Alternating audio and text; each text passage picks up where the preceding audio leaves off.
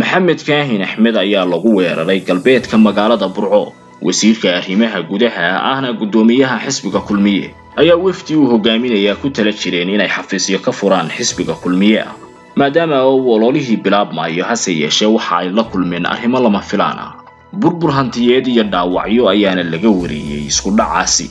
Mas'uuliyiintii falkan la kulmay ayaa waxa ay sheegeen inuu mucaaradku ka dambeeyey haddaba maxay dhacdadani u dhimi kartaa habsami u socodka doorashooyinka somalilan? Ma la ogyahay see cidda rasmiga ahi ka dambaysay weerarkan. Warbixinteennan ayaynu ku falaqaynaynaa. Wefdi uu hogaaminayo guddoomiyaha xisbiga kulmiye ahna wasiirka arrimaha gudaha kaahin oo ku sugnaa gobollada bariga kuna marayay safaradoodii caadiga ahaa. Iyadoo aan weli ololihii la gaadhin ayaa waxa ay sheegeen inay galbeedka magaalada burco oo ay xafiisya ka furanayeen kala kulmeen dad gadoodsan iyo weerarro loo sii diyaariyey iyada oo burbur hantiyeed iyo dhaawacyo ay ka dhasheen dhacdadaasi. Mas'uuliyiintan ayaa ku hanjabay inay meelaha ay kulmiya ku awood badan yahay. Ay ka dhici karayso tan oo kale marka ay marayaan wafdiyada mucaaradku. Ama albaabada la ysugu dhufan karayo xafiisyada ka furan meelaha uu xusbiga kulmiya aqlabiyadda ku leeyahay waxaana ay ku tilmaameen wax aad looga xumaado habsami u socodka doorashooyinkana. Oo nabadgelyada somalilan ay faraha kaga bixi karto.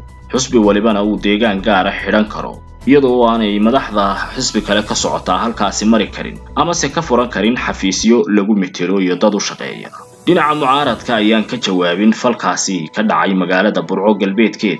Haddii sida ay u sheegeen wax u jiraan oo ay tahay weerarro iyaga loogu talagalayna waxa ay noqonaysaa arrin saamaysa doorashooyinka somalilan iyo habsami u socodkooda nabadgelyada ay madaxdu ku ololaynayso oo ay isu weydaaranayaan magaalooyinka iyo degmooyinka. Halka mid waliba uu soo dhoweyn la kulmaayo diiran mana aha macnaheedu in codka la siinayo. Tanina waa dhaqan soo jireen ah oo muujinaya walaaltinimada iyo wax iswada lahaanshaha dadka reer somalilan kaasi oo ay haddii ay dhacaan ficilo noocan oo kale ahi ka saari karaan meesha ayna noqonayso xisbi waliba meesha uu ku awood badan yahay inay isaga u xidhnaato. Dhicitaanka tallaabooyin dimuqraadiyadda iyo habsami u socodka doorashooyinka ka hor imanaya ayaa somalilan gudaheeda ku soo badanaya kuwaasi oo waxyeelayn kara.